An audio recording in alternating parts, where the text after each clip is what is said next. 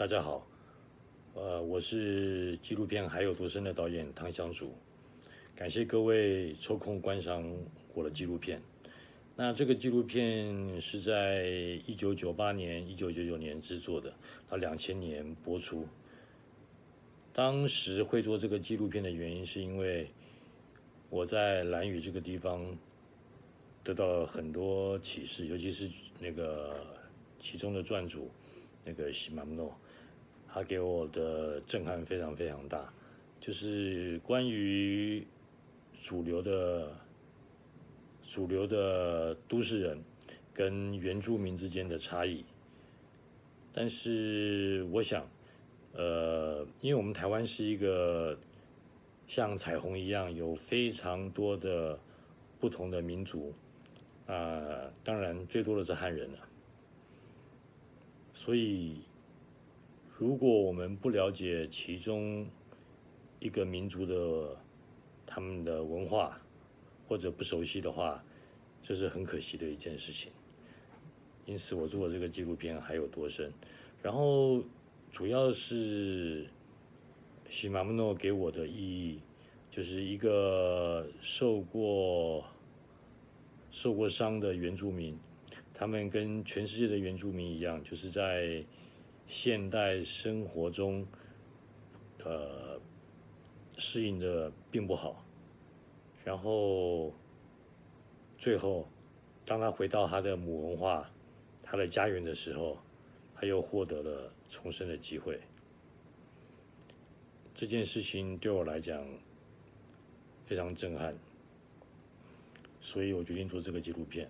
但当时我没有做任何纪录片的经验，但是台湾的那个当时有纪录片辅导金，那可能呃评审看到了我的企划以后，觉得。把那个辅导金的费用给我，是很适合的，所以我就拿到了辅导金，做了这个纪录片。这个纪录片做完之后，我陆续还做了《山有多高，路有多长》，这个叫《回家三部曲》。然后还有后来还做了塞勒克巴莱的呃纪录片，叫《余生》啊。然后还有做了。寻找蒋经国，这所有的开始就是这个纪录片还有多深，但是它在技术上并没有那么完美。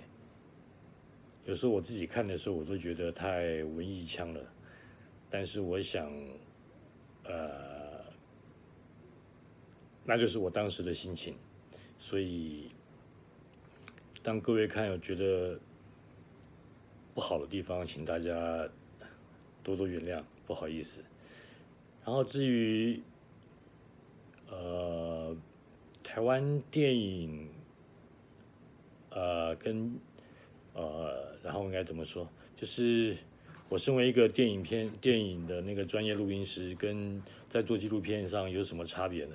我觉得是没有，我觉得是没有太大的那个冲突的，因为我自己本身喜欢拍片，然后在做电影的时候。我觉得这个是两种旅行，第一个就是身身体上的旅行。我借由拍片这件事情，可以到很多我没去过的地方，即使是在台湾，有些地方我我也不可能去过。但是因为借由拍片，借由拍电影这件事情，我可以在那边停留，甚至待到一个月、两个月，甚最后到世界各地。然后第二个是心理的旅行，就是我每次做一部片子的时候，我就跟着。